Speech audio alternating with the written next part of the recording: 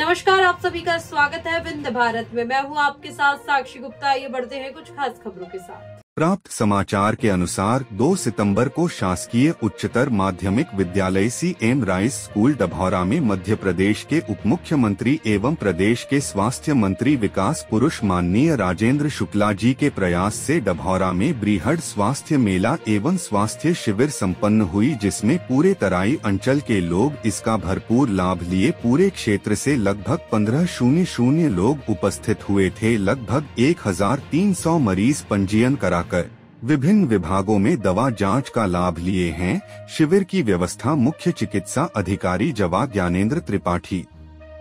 BMO Jawa doctor Abhilesh Mishra शिशु रोग विशेषज्ञ डभौरा डॉक्टर दिनेश दोनिया एमओ डॉ रविंद्र सिंह एमओ अजय कुमार मिश्रा फार्मासिस्ट समस्त सी एन ओ समस्त एम पी डब्ल्यू समस्त आशा कार्यकर्ता सी एच ओ डभौरा का समस्त स्टाफ के अलावा सी एम राइस स्कूल के प्राचार्य हिम्मतलाल द्विवेदी एवं उनके स्टाफ नायब तहसीलदार राजेश मिश्रा नायब तहसीलदार राम उजागर दाड़िया क्षेत्रीय सरपंच सचिव स्थानीय पार्षदगण स्थानीय पुलिस पुलिस प्रशासन प्रमुख रूप से उपस्थित रहे पूरे क्षेत्र से भारी संख्या में उपचार, जाँच एवं दवा हेतु जनसैला।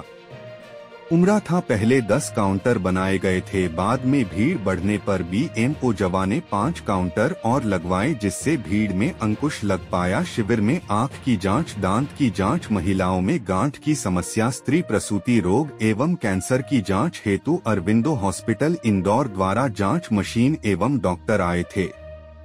इनका कहना है।